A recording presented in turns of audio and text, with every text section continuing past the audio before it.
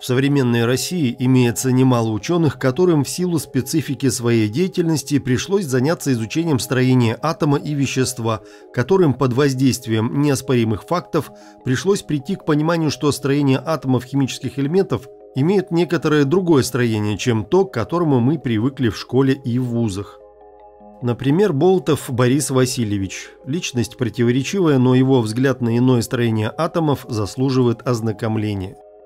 Парадоксы современного мира на протяжении всего его существования заключались не только в возможности существования явлений и феноменов, чуждых самим устоям официальной науки, но и в том, что эти чуждые явления умудрялись развиваться в серьезные и сильные школы, учения и направления в масштабах всей планеты. По всей вероятности, давление на личность, вызванное борьбой в мировом масштабе с лженаукой, ограниченные возможности реализации – оказывались прямо пропорциональны той силе, с которой творческий процесс требовал своего развития и выражения у отдельных людей. Кто-то считает Болотова сумасшедшим, а кто-то крупнейшим ученым современности, диапазон знаний и интересов которого поражает своим разнообразием и глубиной. Многие его теории вызывают больше вопросов, непонятны, Однако некоторые считают, что его наследие имеет полное право войти в десятку высших достижений человеческой мысли XX века. Многие годы личная информация о нем была недоступна по причине того, что он был ученым-ядерщиком. Только недавно стало возможным узнать о Болотове не только по книгам, но и по его биографии. Свой взгляд на эту систему Борис Васильевич изложил в своей работе «Некоторые основы строения вещества», Рассмотрим положение из этой работы. Опускаем критику официальной науки в отношении преобразования веществ, так как она основана на элементарном незнании отдельных физиков важнейших основ этих веществ.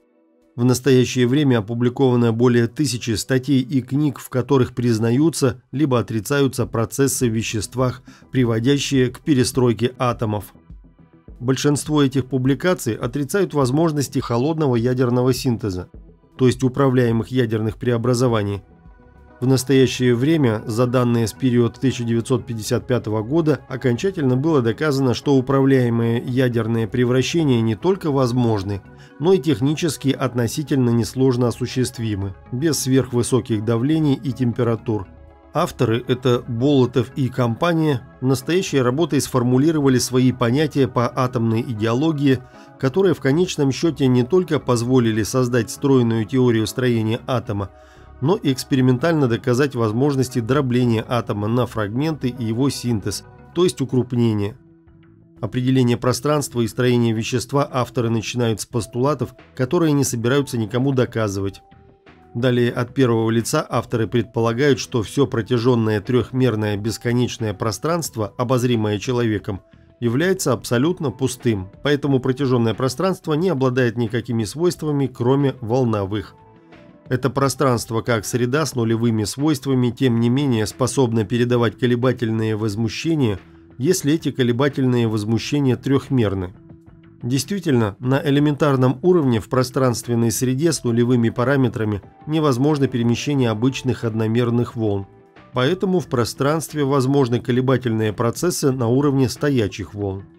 Легко себе представить, что трехмерная стоячая волна будет выглядеть в виде двух шаровых пучностей. Одна из пучностей соответствует положительным полуволнам синусоид, а вторая пучность соответствует отрицательным полуволнам синусоид. Авторы стоячую волну, то есть первую шаровую пучность, назвали электроном, а вторую шаровую пучность – позитроном. Таким образом, электрон и позитрон, или пи-электрон, хотя и являются взаимопротивоположными, не могут аннигилировать друг с другом, так как по сути являются полуволнами одной и той же синусоиды, только в трехмере. Шаровая пучность в пространстве ведет себя как вещество – Действительно, поскольку стоячая волна привязана к некоторой точке пространства, то ее положение в пространстве возможно только на расстоянии, равном полупериоду. Другими словами, положение стоячих волн строго дискретно. И теперь становится понятно такое определение из физики, как спин. Поэтому, чтобы пучность переместить в пространстве, надо приложить некоторые усилия, так как эта пучность может перескочить участок в пространстве только не меньше, чем на полпериода. на один спин. Следовательно, электроны и π-электроны, являясь с одной стороны волновыми стоячими волнами, а с другой стороны элементарным веществом, обладающим свойством сопротивляться передвижению, то есть обладают свойством массы. Другими словами, вещества получаются на основе электронов и π-электронов, которые формируются в виде кристаллических образований на основе платоновых тел, и не обязательно платоновских. Вещества таким образом являются продуктом пространственной среды, сформированной в виде стоячих волн, то есть этих пучностей. Пространство и вещество таким образом это одно и то же. И тогда распад вещества сводится к превращению вещества в пространственную среду. Поэтому вещество, так же как и пространство, ни из чего не состоит – но можно допустить, что пространство состоит заполненным идеальными ломоносовскими ультракосмическими частицами, а пару электрона и пи-электрона назовем электронно-позитронным резонатором. Рассмотрим конструкции атомов и элементарные частицы атомов. Простейшей кристаллической объемной конструкцией являются соединения двух электронно-позитронных резонаторов. Вот эти А и Б – нейтральные, состоящие из двух резонаторов – ВГД, последние три, заряженные, из которых Г – наилегчайший мезон, а Д – наилегчайший протон. Чтобы полнее представить образование конструкций из электронно-позитронных резонаторов, поясним в начале возникновения зарядности в сложной системе. Эти резонаторы с принципиальной точки зрения нейтральная система, так как состоят всегда из электрона и пи-электрона со взаимопротивоположными зарядами. Электрон и π-электрон взаимно компенсируют зарядность. Но оказывается, пространственные колебания реализуют зарядность на одну единицу, либо положительную, либо отрицательную. Так, в наилегчайшей частице атома, рисунок 1А, два резонатора образуют нейтральную атомную частицу, а в конструкции рисунок 1В атомная частица становится уже заряженной, так как в ней на один электрон больше – как это можно себе представить, чтобы при наличии только электронно-позитронного резонатора было на одну зарядную единицу больше? Действительно, такое явление возникает из того, что электроны или π-электроны возникают поочередно. Поэтому одному электрону могут соответствовать сразу два π-электрона, или наоборот, одному π-электрону два электрона, как это изображено на рисунке 1В. В такой конструкции мы наблюдаем смежное соединение как двух разнородно заряженных частиц электрон-позитрон, так и двух с одноименными зарядами. По схеме такое соединение благоприятствует присоединению еще одной заряженной частицы, рисунок 1В, либо отрицательной, рисунок 1D, либо положительный 1G. В первом случае образованное сооружение имеет отрицательный заряд, так как электронов по числу больше, чем позитронов а во втором случае оно будет иметь положительный заряд. Очевидно, в первом случае мы имеем дело с наилегчайшим мезоном, а во втором случае с самым легким протоном с той же массой.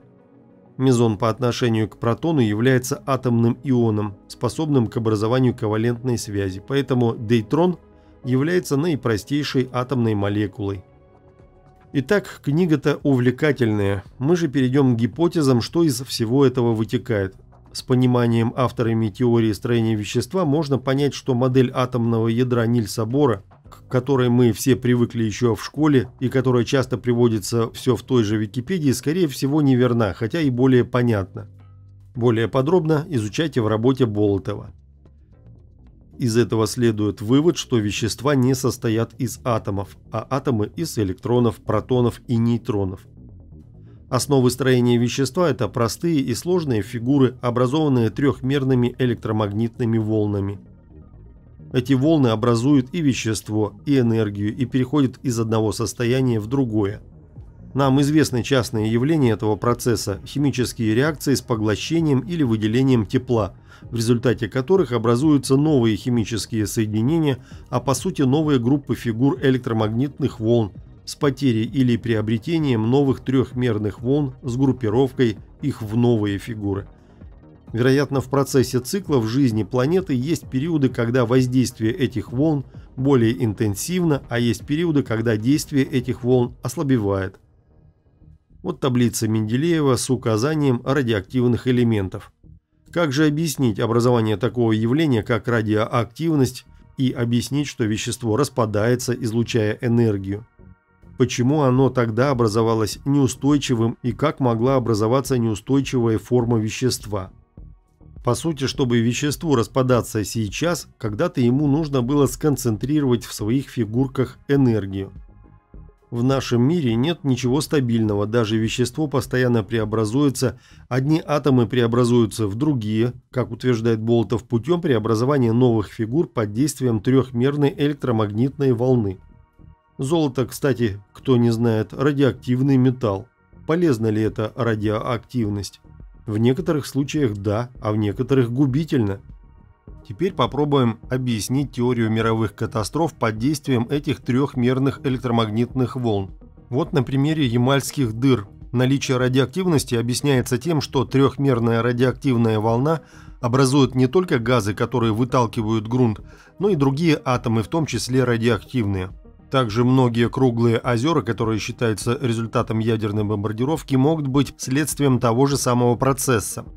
Многочисленные пожары 19 века в Америке и в России. Поток этих трехмерных электромагнитных волн вызывает не только образование новых атомов, но в некоторых случаях образование сильного потока энергии, как в микроволновке. Так могли начинаться пожары. Как ни странно, этот же процесс вызывает образование вечной мерзлоты – только там процесс идет с поглощением энергии. Ну и далее, кому интересно по этой теме, можно ознакомиться с работой советского и российского ученого Кривицкого Владимира Алексеевича. Парадоксы трансмутации и развития Земли – неочевидные доказательства. О том, как Болтов создал новую таблицу химических элементов практически в домашних условиях при помощи катализаторов, Новые виды химических веществ из этой таблицы, обладающих невероятными характеристиками, смотрите видео на канале «Новая таблица химических элементов Болтова». И тут мы переходим к интересному вопросу. Знала ли о реальном строении вещества предыдущая цивилизация? Вот интересная версия Павла Конного, преуспевшего в расшифровании чаромутного древнего русского языка. Смотрите видео на канале «Расшифровка манускрипта Войнича». Существует легенда, что Ломоносов был алхимиком и расшифровывал свитки с текстами мудрецов Гипербореи, которые его отец Помор получил от северных колдунов-шаманов. Когда он показал свитки Христиану Вульфу, профессору из Макбургского университета, тот выразил мнение, что увиденное напоминает ему рецепт философского камня. Вот это всем известные русские руны. Павел, будучи знакомым с борейскими рунами Аверьянова, с помощью таблицы химических элементов Рыбникова создал руническую систему некоторых элементов. Схема состоит из рун вращения или рыбок. Итак, это всерод, который рождает все. А это первород. Слева мы смотрим на электромагнитные пучности, а справа отображение в рунах. Водород. Гелий Суворов – это газ гелий-1. Ушаков – инертный газ гелий-2. Ломоносов – гелий-3. Неон – инертный газ, уже триод. Фтор. И вот мы меняем картинки одна за одной и получаем анимацию усложнения вещества.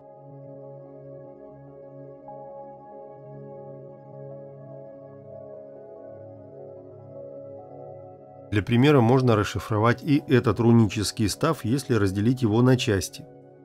Автор рунической схемы химических элементов Коннов Павел Петрович. Также мы видим, как наши предки до ограничения знаний современной наукой повсеместно использовали знания о веществе в различных устройствах. Самые массовые, которые остались нам в наследство, это церкви, храмы, купольные сооружения, крепости звезды – Реальное их применение нам пока неизвестно, мы можем только выдвигать гипотезы. Как сейчас альтернативщики выдвигают версии, что это были энергетические устройства по сбору электричества, а видимое проявление в виде свечения – это побочный эффект. Но если думать новыми критериями строения вещества, скорее всего, эти сооружения усиливали воздействие трехмерных электромагнитных волн на человека, так как сам человек есть комплекс этих волн в результате чего человек приобретал полезную реконструкцию, получал энергию, здоровье, знания, состояние эйфории. Не кайфа, конечно, а радости жизни. Может, именно поэтому люди тогда и жили дольше, просто умели использовать эти энергии трехмерных электромагнитных волн для восстановления здоровья, усиления мысленной деятельности. Есть такие свидетельства, что первоначально купола покрывались золотом. Однако о чем нам говорят историки? О каком-то соединении золота и ртути, о десятках погибших мастеров, работавших с этим ядовитым материалом. И откуда столько мастеров-то подготовленных набирали, если они мерли как мухи? В фальсификации фактов иногда применяется такой прием. Событие не отрицается, изменяется его смысл и цели. А что если изначально не было никакого золота, была амальгама ртути? Все мы слышали про ртутные антенны, которые очень сильно притягивают волны. Сейчас эта информация добросовестно вымарывается из публичного доступа, как и сама ртуть из употребления – за ее хранение грозит реальный срок. Но если такие антенны ртутные действительно имеют хороший коэффициент усиления, а купольные сооружения – это установки по управлению трехмерными электромагнитными волнами, то лучше бы их было покрыть ртутью. Почему же на старых храмах мы видим золото? Однако мы уже сталкивались с таким явлением, как мгновенное окаменение живых существ, то есть преобразование в живых веществах углерода в кремний. Почему же ртуть не могла превратиться в золото? Очень даже могла, это даже проще. Ртуть в таблице периодических элементов находится совсем рядом. Может, поэтому мы теперь и не можем понять истинного предназначения купольных сооружений. Чем же они на самом деле покрыты? Золотом, ртутью или амальгамой ртути? Купольные устройства для нас представляют большой интерес – Выдвинем такое предположение. Скорее всего, в водокачках, которые есть в каждом допотопном городе, не было никаких насосов. Купольные устройства изменяли гравитацию самой воды, и она поднималась из недр. Существует ли этот эффект сейчас? Нам это всем известные родники, а особенно вода, падающая с гор. У многих водопадов отсутствует такой сбор из осадков, которые они извергают с высоты. Совершенно очевидно, что все эти потоки воды каким-то образом поднимаются внутри горы. Такой вопрос, как управление гравитацией, некоторые ученые исследовали. Например, Виктор Шаубергер, работая лесником, обратил внимание на рыб, которые стоят на месте в быстром потоке воды, едва двигая плавниками. Свои наблюдения он применил на практике, организовав сплав леса по новой технологии. И всем известно пролетающие тарелки в Третьем Рейхе. Значит, все-таки какие-то механизмы по управлению гравитацией были реализованы. Летающий майский жук – это тоже большой феномен. На таких крыльях он летать в принципе не может, это рассчитали ученые. На таких крыльях он левитирует, то есть управляет гравитацией при помощи электростатики. Вот посмотрим еще несколько старых фото. Это Лаос 19 век, очень интересные головные уборы – Здесь мы видим и русский кокошник, и индийские лингамы. А вот головной убор офицера Германии 19 века. Как объясняется, култышка сверху для того, чтобы сабля соскальзывала, потому что, наверное, ему все время вертикально сверху били по голове саблей. Таких странных головных уборов с намеком на получение энергии множество. Также фотографии лингамов в сети сотни, если даже не тысячи. Что это за устройство? Скорее всего, просто исходя из сравнения, гипотеза возникла из таблицы распространения звука в различных средах. В граните она выше, чем в воздухе в 12 раз, в алмазе в 36 раз. Получается, что звук в этих средах разгоняется в 12 и 36 раз соответственно. Что происходит на границе гранита? Многие исследователи уже снимали некое свечение на старых купольных сооружениях. Кому еще непонятен эффект красивого сияния искрения алмаза, да и некоторых других драгоценных камней, они сияют потому, что в них трехмерная электромагнитная волна разгоняется, а на поверхности излучается. Инженеры-электрики знают про такое явление, как коронный разряд. Гудение высоковольтных линий – это его звуковое проявление. Все это работает по принципу магнетрона в микроволновке. А лингам – это магнетрон прошлой цивилизации – по принципу магнетроны и концентрации волн могли не только обогревать жилище и готовить пищу. Вспомним горшочек из старых сказок, который сам себе варит До сих пор думаете, что это сказка? Очень много купольных сооружений, где имеется некий престол, да и полы странные, чугунные. Зачем это было бы нужно? По принципу микроволновки пол не будет нагреваться, да и на людей в церковных одеждах излучение не будет воздействовать. В этих сооружениях также используются элементы свастики. Эти орнаменты вышивались на одежде и рушниках наших предков. Жарникова Светлана Васильевна считала их рунами. А что такое руны? Из альтернативного взгляда элементы управления магией. А магия – это воздействие визуальных образов на материю. Ну и в качестве завершения приведем слова известного ученого доктора технических наук, создавшего эфиродинамику Владимира Акимовича Ацуковского. Мы находимся в море бесконечной энергии. Наши предки знали об этой энергии и строении вещества и, скорее всего, могли это использовать.